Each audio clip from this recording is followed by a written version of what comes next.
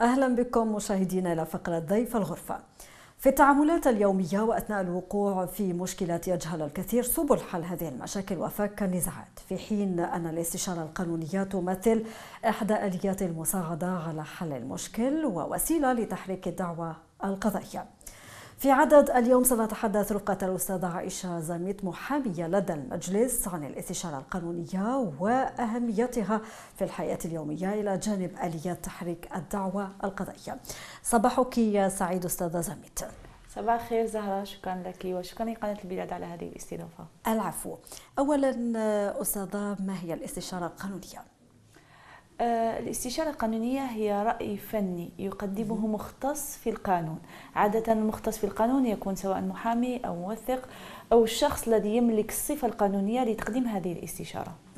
إذا تحدثنا عن الاستشارة في القانون الجزائري هل عندها تعريف ربما في هذا القانون؟ لا الاستشارة القانونية ما عندهاش تعريف في هذا القانون ولكن يوجب أن تقدم من طرف أشخاص مختصين في المجال. إذا أراد شخص ما آه، إذا أراد مثلا مواطن معرفة أمر ما إلى من يلجأ؟ آه، عادة المشكل إنه في المجتمع الجزائري المواطن الجزائري لا زال لا يملك ثقافة الاستشارات القانونية، يعني عادة واحد كيكون عنده مشكل قانوني يلجأ إلى مواقع التواصل الاجتماعي، يلجأ إلى أشخاص في الشارع، يلجأ. ولكن يفترض انه أنه يلجأ إلى مختصين، الاستشارات القانونية سواء تكون شفوية، سواء تكون كتابية أو تكون إلكترونية، سواء يكفي أن يلجأ المواطن. المواطن إلى الشخص المختص في في المجال القانوني ليقدم له استشارة المناسبة التي تتعلق بالقضية أو أو المشكل الذي يود طرحه. نعم. أه وما هي أهمية الاستشارة القانونية في حياتنا اليومية؟ آه، الاستشارة القانونية هي ربما تمهيد لأرضية معينة قبل اللجوء إلى النزاع وقد تكون أثناء النزاع وقد تكون أثناء تنفيذ حكم قضائي. الاستشارة القانونية قد تختصر علينا مسار طويل من الإجراءات. صحيح. أيضا أيضا قد قد تجنب المواطن الكثير من الأخطاء التي قد يقع فيها حتى وإن كان لديه حق. فقد يقع في أخطاء إجرائية تكلفه فقدانه النهائي لهذا الحق. آه لما نرجع أيضا للاستشارات القانونية لأنه عندنا كاين نوعين من القضايا. كاين وهو السؤال الذي كنت سأطرحه هل للاستشارة القانونية أنواع؟ آه نعم الاستشاره القانونيه أنواع سواء من ناحية الشكل قلنا أنه استشارات شفوية يعني يتقدم للشخص يقدم له استشارة بطريقة شفوية. آه استشارات كتابية وعادة هذه التي تقدم آه في في مكاتب المختصين ونقول أنه مكاتب المحامين وتكون في مسألة فنية معينة.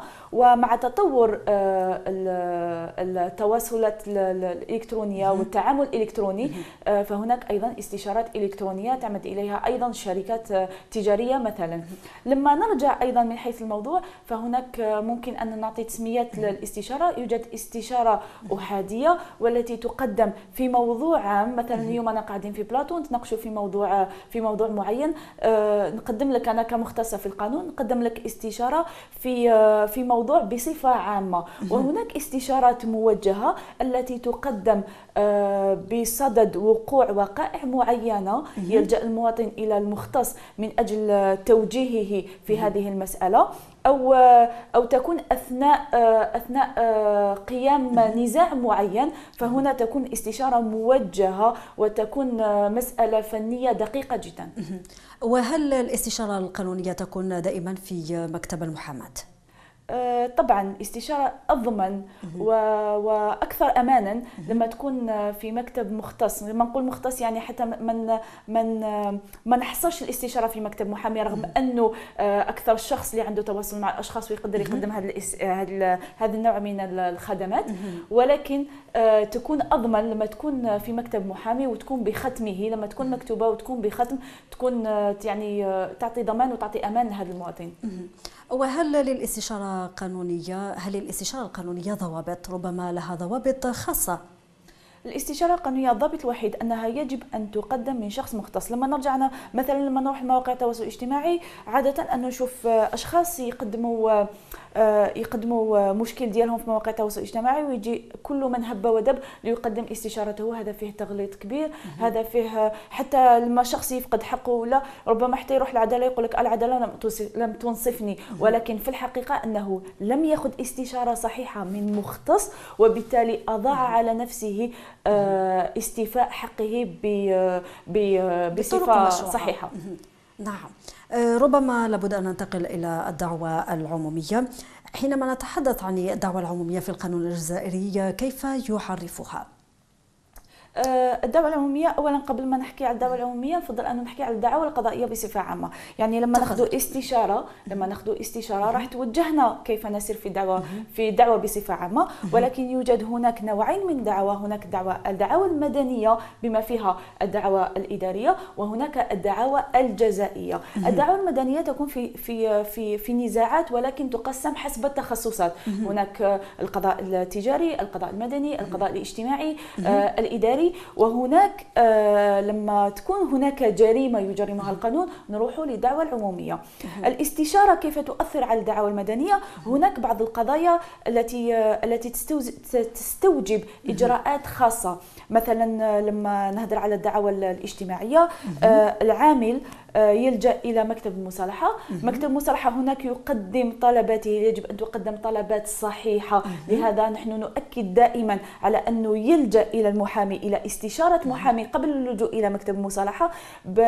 بمحضر عدم المصالحة يتم رفع الدعوه الاجتماعية. إذا كان محضر المصالحة مثلا نعطيها على سبيل المثال إذا كان محضر المصالحة فيه أخطاء أو لم يطالب بإحدى حقوقه فهنا يروح على نفسه فرصة فرصة المطالبة بها في دعوة. مثلا هناك لما نروح للدعوة الإدارية الدعوة الإدارية آه، آه، مربوطة بأجل يقدر الشخص مثلا يبلغ بقرار يستهزأ أنه ما يروحش الاستشارة أو أي شيء يضيع على نفسه أنه يروح له حقه نهائيا في الدعوة الإدارية.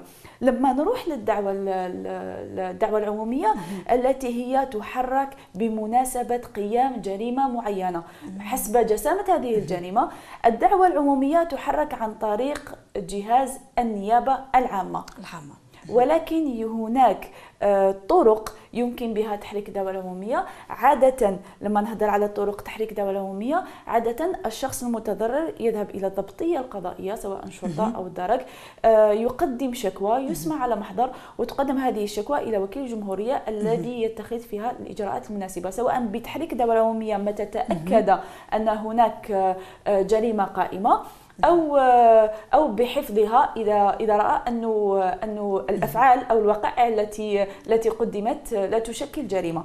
أيضا المشرع الجزائري في هذا الباب فتح مجال للمتضرر أنه مباشرة هو من يباشر الدعوه العموميه سواء عن طريق النيابة آه، بموجب الاستدعاء آه، استاذه زميت الدعوة العمومية حين نباشرها يعني حين مباشرة الدعوة أمام المحكمة. آه، هل لابد أن نباشرها أمام المحكمة أم هناك جهاز جهات عفوا جهات مختصة يمكن اللجوء إليها. هذا ما تطرقت له في الحين. يعني عادة قلنا أنه أن الدعوة العمومية يلجأ المتضرر إلى الضبطية القضائية من أجل آه، تحرير شكوى ولكن مباشرة الدعوة العمومية مربوطة بجهاز النيابة العامة. ولكن هناك حالات رحنا رحنا لجهاز القضاء. يعني تحرك على مستوى القضاء. مستوى القضاء. نعم. ولكن هناك حالات منحها القانون على سبيل الاستثناء. يمكن للمتضرر مباشرة تحريك الدعوة العمومية. أولا عن طريق استدعاء المباشر في بعض الجرائم التي نص عليها المشرع في المادة 337 مكرر من من آه، قانون الإجراءات الجزائية والتي تذكر على سبيل آه، المثال وليس الحصر. آه، يباشر المتضرر من جريمة معينة مباشرة الدعوة العمومية ويتقدم إلى السيد وكيل الجمهورية من أجل استدعاء الطرف الآخر مباشرة أمام المحكمة وهنا يتم تحديد كفالة. والسمة التي تتسم بها هذا النوع من الإجراء أنه إجراء سريع يعني مباشرة أنك دفع الكفاله تحدد لك جلسه مباشرة أمام المحكمة. هناك طريقة ثانية من أجل تحريك الدعوه العموميه وهي اللجوء أمام السيد قاضي التحقيق بناء على إجراء الادعاء المدني المباشر. وهنا تقدم شكوى على مستوى قاضي تحقيق آه، عميد قضاة التحقيق والذي يدرس القضية ويحدد الكفالة أيضا من أجل تسريع الإجراءات. ويتم آه، يتم فتح آه، ملف ملف جزائي بخصوص القضية المقدم بها شكوى. ربما حتى نبسط الفكرة للمشاهد. يعني كيف يحرك دعوى قضائية؟ الخطوات ربما. الدعوة القضائية أولا نقسمها. إذا كانت دعوة مدنية هناك في كل تخصص إجراءات خاصة وهنا نرجع إلى يعني دور الاستشارة القانونية. نعم. يعني يجب قبل دفع رفع دعوة قضائية آه، عادة أنه ربما في ربما لما نطرق إلى إلى تخصص مثلا شؤون أسرة. شؤون أسرة. ترفع بطريقة عادية ولكن بعض التخصصات تحتاج إلى إجراءات خاصة إلى إلى طرق خاصة مواعيد خاصة. وطرق خاصة لابد أن يتخذها المتضرر. لمباشرة هذه الدعوة. العمومية أو الدعوة هي القضائية هي أنه إجرائيا آه ليس إلزاميا أنه توكل محامي على مستوى المحكمة لمباشرة إجراءات قضائية. ولكن ما دام ليس إلزاميا توكيل محامي فهنا الأفضل أنه تروح تأخذ استشارة من عند محامي حتى لا تضيع حقك. الاستشارة حتى ستكون بمبلغ ربما آه جد رمزي. وبالتالي تضمن حقك في الجهة المدنية. أما في الجهة الجزائية وتحريك الدعوة العمومية فهنا قلنا ما اصطلح عليه أو ما ما ما ما أصبح عليه العادة أنه المتضرر من جريمة واكد على جريمة أنه من جريمة معينة يلجأ إلى ضبطيه قضائية ولكن يمكنه اللجوء مباشرة إلى سيد وكيل الجمهوريه أو بإجراءات خاصة آه، نص عليها القانون وهي الاستدعاء المباشر والادعاء المدني أمام سيد قاضي التحقيق. أستاذة زميت ما هي الجهات المخول لها تحريك دعوى عمومية؟ الجهات المخولة لها تحريك الدولة العمومية هي النيابة والنيابة فقط ولكن كاستثناء كاستثناء في بعض الجرائم تحركها النيابة بطريقة آلية وهي ما نصت عليه المادة 337 في الاستدعاء المباشر. وهناك خمس قضايا ذكرت على سبيل المثال وليس الحصر. أما استثناء الثاني وهو أنها تحرك على مستوى عميد قضاة التحقيق مباشرة بناء على إجراء الادعاء المدني المباشر. وهل من قيود ربما تكبح أه، عملية هذه رفع الدعوة العمومية؟ أه، يوجد يوجد نوعين من القيود. اولا لما لما تودع شكوى أمام السيد وكيل الجمهوريه أو حتى أمام قاضي تحقيق يجب أن تكون لديها الصيغة الجزائية. يعني لازم تكون هناك جريمة قائمة بحد ذاتها. حتى إذا مشات الدعوه يمكن رفضها بناء على أن الوقائع تشكل وقائع مدنية وليست جزائية. هناك استثناء آخر فيما يخص القضايا الاقتصادية التي نص القانون على على بعض القيود وهي تحريكها بناء على إذن أو بناء على جهات مختصة معينة وليس من المتضرر مباشرة. أستاذة يعني بالنسبة للإجراءات القانونية اللازمة لرفع الدعوة القانونية هل هناك إجراءات قانونية؟ أو لو فصلت لنا في بعض الإجراءات القانونية حتى يفهم المشاهد هذه الخطوة. لو نفصل في الإجراءات القانونية ربما راح نتطرق إلى كل كل دعوة وخصوصياتها لما نهضر على القضاء الإداري لما نهضر على القضاء الإداري يجب أن يكون هناك قرار إداري ويجب هناك يجب احترام الإجراءات بالإضافة إلى الإجراءات الخاصة التي يمتاز بها القضاء الإداري. لما نروح للدعوة للدعوة التجارية هناك أيضا استحداث استحداث إجراء الوساطة. آه، لما نروح أيضا للدعوة القضاء الاجتماعي الاجتماعي هناك استوجاب آه، أنه يجيب العامل محضر عدم مصالحة وحتى الشركة أو المستخدم. مش ما نقول الشركة لأنه تقدر تكون شخص معنوي أو شخص طبيعي. المستخدم يجب أنه يكون هذاك المحضر عدم المصالحة الذي يعرض أمام مفتشيه العمل كإجراء أولي. وبالتالي بعدها نروح للقضاء الاجتماعي. لما نروح أيضا للدعوة العمومية هناك بعض القضايا باش ما تفوت فوتنيش النقطة هذه نطرق لها. هناك بعض القضايا التي تستوجب الوساطة القضائية من طرف وكيل الجمهورية. يعني خاصة أن القضايا بعض القضايا التي عفو الضحية يوقف المتابعة. وبالتالي هناك إجراء استوجبه المشرع الجزائري أنه وكيل الجمهورية يعرض الوساطة على الطرفين حتى ما نروحوش إلى غاية المحاكمة. إذا كان طرفين تراضوا بيناتهم حبسوا الإجراءات إذا ما تراضوش بيناتهم نروحوا المتابعة الجزائية. الجزائية. أستاذة كذلك بالنسبة للعريضة الكثير يجهل ما هي العريضة وكيفية الإقدام عليها. ولا العريضة هي سرد مختصر للوقائع التي تخص النزاع فقط. ونشكرك جدا على إثارة هذه النقطة لأنه بعض المواطنين أو بعض الأشخاص يقول لك لا أنا عريضة نكتبها في الدار ولا نروح عند كاتب عمومي ولكن يجهل أنه هذه العريضة هي الواجهة النزاع ديالو. يعني لا ما تكفيش أنه نعرضوا فقط الوقائع ولا وش صرا ولا ليست ليست عريضة إنشائية هي عريضة قانونية. تتضمن الوقائع التي تمس مباشرة بالنزاع تتضمن القانونية أو الطرق أو الآليات آه، الدفاع القانونية التي آه، التي آه، يستخدم بها حقه.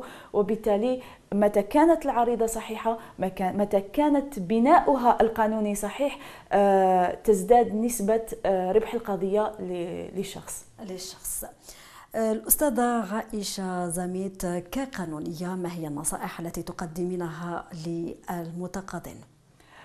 النصيحة الأساسية. هي أنه حتى وإن إن شاف المواطن أنه ما لازمش يروح عند محامي ما لازمش يأسس محامي على مستوى المحكمة لكن يكفي بمبلغ رمزي أنه يتقدم عند محامي يطلب استشارة قلنا استشارات سهلة جدا سواء كانت شفوية كتابية عن بطريقة إلكترونية يطلب استشارة تامة من طرف محامي بخصوص قضية معينة هذا يحميه يعطيه الطمانينه ويخليه انه يباشر إجراءاته بطريقة صحيحة يضمن بها حقه وما يكونش معرض إلى أنه يخسر القضية تاعو بموجب إجراءات شكلية ربما نقول آه، بسيطة وتافهة. يعني لو كان نستعمل المصطلح العامي نقول حاجات جيحة تقدر تخسر الواحد القضية ديالو. يعني يكفي أنه يلجأ إلى استشارة صحيحة لدى مختص في القانون يعني نبعدوا على الاستشارات الإلكترونية لأنه اغلبها أغلبها مش ما نقولش كلها ولكن أغلبها آه، خاطئة. وحتى وإن قدمت لك استشارة صحيحة في في نقطة معينة لكن راح يغلطوك في نقطة معينة هذا الخسائر راح يتحملهم الشخص بحد ذاته. ولما نقول إلى آه، آه، إلى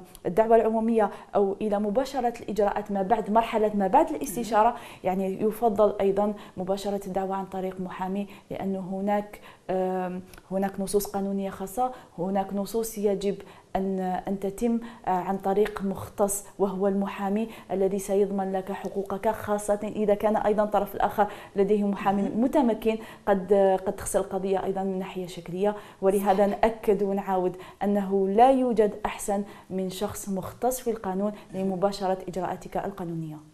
وهو كذلك أستاذة عائشة زميت المحامية والناشطة الحقوقية. نشكرك على كل هذه الإرشادات والنصائح التي قدمتها للمشاهد. شكرا, شكرا لك. مشاهدينا إلى هنا ينتهي موعدي بكم مع فقرة ضيف الغرفة. نلتقي بعد الفاصل.